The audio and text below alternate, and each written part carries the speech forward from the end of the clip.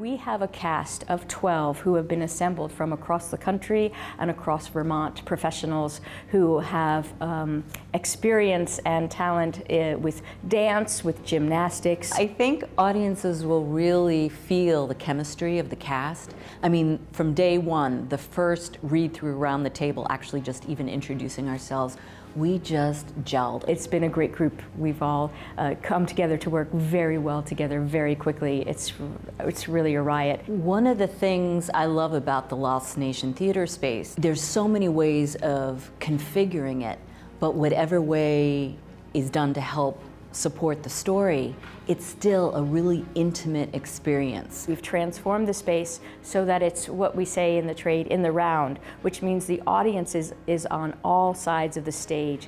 The active playing area is in the middle. So as you're watching the show, you are watching the show, but you're also watching other audience members watching you watching the show. The concept of uh, having, in, in such a wide open space, having the, the audience at all ends there's really nowhere to hide. In this sense and sensibility, Kate Hamill has invented a kind of Greek chorus of gossips. Uh, one of the themes that runs through the show is that somebody's always watching, that you have to mind your P's and Q's. What happens if you break the rules of society? They're really capturing the whole feeling of you know, our world with social media, someone is always watching, someone is always listening. I think there's something very relevant about this type of story right now because you have the very practical, I should be thinking this way, I should be living this way, these are the choices I should make.